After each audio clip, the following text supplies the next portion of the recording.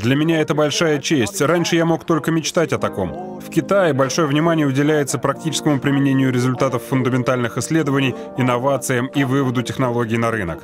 Я рад получить награду именно в номинации «Новые способы применения энергии», ведь мы работаем над декарбонизацией теплоэнергетики, использованием тепловых насосов для отопления, охлаждения и даже парогенерации, а также над созданием новых высокоэффективных тепловых насосов и сценариев их применения.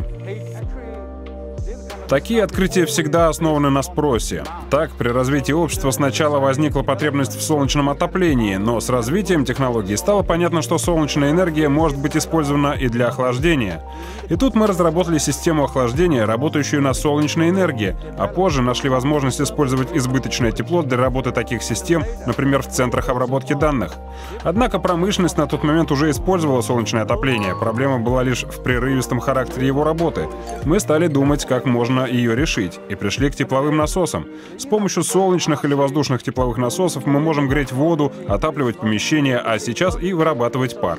Так что да, все начинается со спроса, и затем идут расчеты, разработка, производство, испытания и коммерциализация.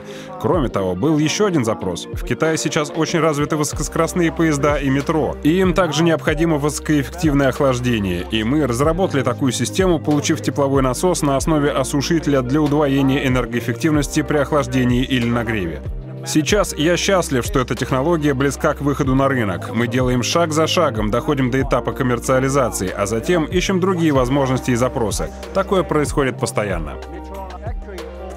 Если честно, спектр применения довольно широк. Изначально мы использовали наши технологии в жилых домах для отопления, охлаждения и нагрева воды. Затем появился запрос на углеродную нейтральность, связанный с широким использованием угольных бойлеров в Китае, а также с применением природного газа, то есть с выбросами углекислого газа. Сейчас мы разрабатываем варианты использования электричества из возобновляемых источников и в целом двигаемся по пути электрификации.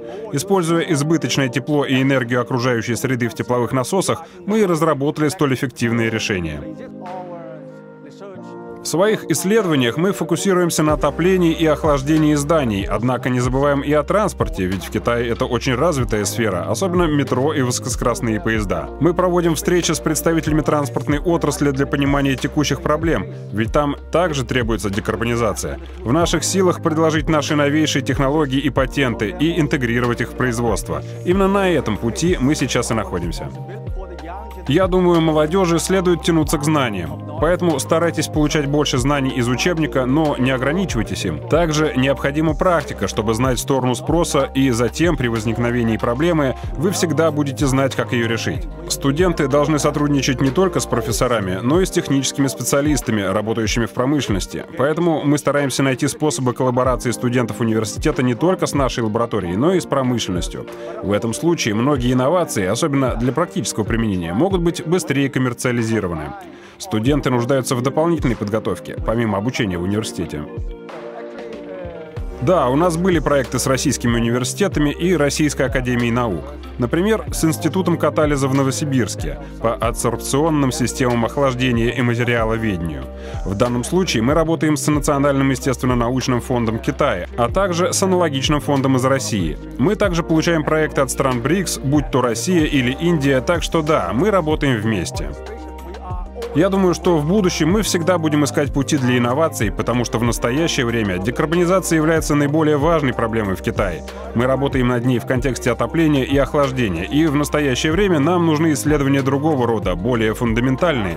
Мы называем их от нуля до единицы, то есть это попытка открыть что-то по-настоящему новое.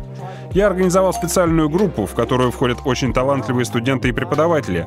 Мы вместе работаем и каждую неделю или каждый месяц проводим обсуждения, пытаясь продвинуть различные пограничные исследования. И действительно, нам нужны такие исследования для развития науки. Это поможет развитию наукоемких технологий и стратегических инноваций.